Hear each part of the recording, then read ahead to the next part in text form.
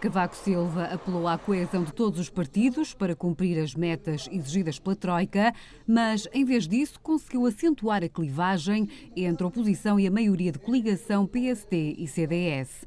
O discurso pela positiva colheu elogios da direita parlamentar, mas PCP e Bloco de Esquerda acusaram Cavaco Silva de se esquecer da difícil situação económica do país.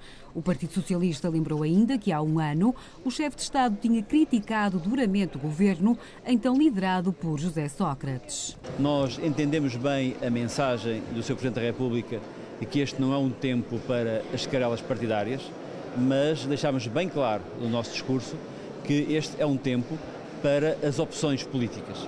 E de facto há opções políticas muito diferentes entre a maioria que nos governa e o Partido Socialista. E tenho pena que uh, o facto de ter feito este discurso, que é muito positivo, não tenha dado tempo ao Sr. Presidente para fazer também a análise sobre aquilo que uh, este Governo tem vindo a fazer uh, de muito negativo em termos de crescimento e emprego. Creio que o Presidente da República deveria situar-se na realidade que vivemos, olhar para o país passado um ano desse, da aplicação desse Pacto de Agressão e eh, colocar aos portugueses a necessidade, de facto, de um, de um novo rumo, de uma alternativa, porque este caminho já está aprovado, leva-nos ao afundamento.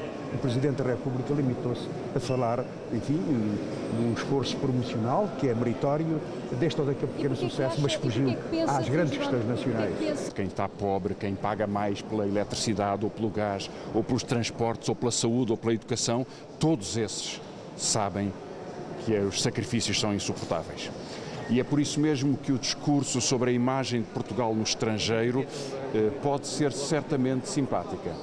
Mas hoje Portugal tem uma troika instalada entre nós, que decide sobre os impostos, que decide sobre o salário, que decide sobre o corte das pensões, que decide sobre todos os sacrifícios. E é por isso que é tão surpreendente que o Presidente não se tenha lembrado do que disse há um ano atrás. Mas foi muito claro ao tentar concentrar a sua intervenção hoje no objetivo de mostrar ao mundo e projetar no mundo uma imagem positiva de Portugal, daquilo que nós somos capazes de realizar. Já somos capazes hoje, que fomos capazes no passado e que seremos também capazes no futuro. Foi um discurso mobilizador no sentido de, por um lado, realçar a necessidade de coesão interna e, ao mesmo tempo, que, essa, que dessa coesão interna possa resultar maior credibilidade externa. E com essa credibilidade externa, com esse esforço todos, apostando em setores, como sempre dissemos, fundamentais, como setores produtivos, como o turismo, como as exportações, poderemos em conjunto, e só nesse esforço deve ser coletivo e deve ser conjunto, ultrapassar este momento difícil e de grandes dificuldades. A sessão comemorativa do 25 de Abril na Assembleia da República